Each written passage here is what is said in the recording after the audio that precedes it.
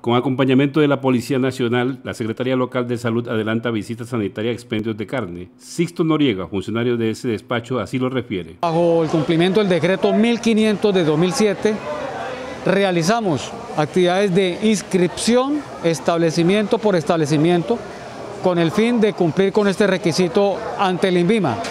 Segundo, estamos haciendo esa parte de autodiagnóstico para que cada expendio, cada negocio conozca sus falencias y las pueda corregir en el menor tiempo.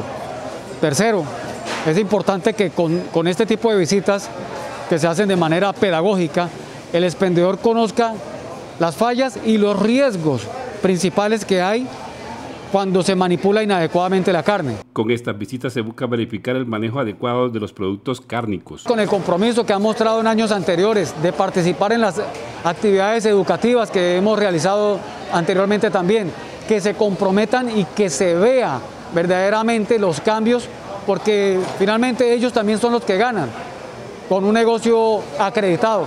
Hay que buscar que se autoricen, esa es la meta, que se autoricen luego de toda esta revisión tengan ese soporte que lo cual los acredita como un establecimiento seguro para la comercialización de carnes. Se dijo por parte de la Secretaría que conocer la procedencia de la carne y el manejo de la cadena de frío son clave para un producto de calidad y saludable.